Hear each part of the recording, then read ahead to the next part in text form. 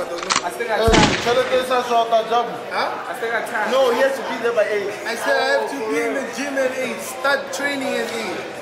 Hey, go! Ha o tlo nyamang lang e tjhelete. E tlo a o tlo tre tawa ka latlheya tje. Ke sa two three tone. What about you? Ba shu. Brother, please.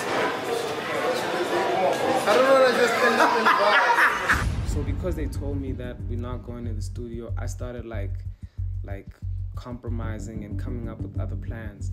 So they had to like stay a bit longer, but Cassper was not feeling me at all, you know. And I won't lie, for the first time I was like afraid of him. Obviously he's big. He's like so big, like he's so big. Like he kept calling himself gorilla, gorilla. And I won't lie, he's big like that, you know, like when you touch him, it's like a hard wall, you know what I'm saying?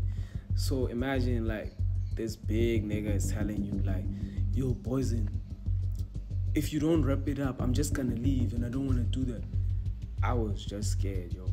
I was just scared. I don't know what to say. And everyone kept coming to me like, yo, how you gonna allow him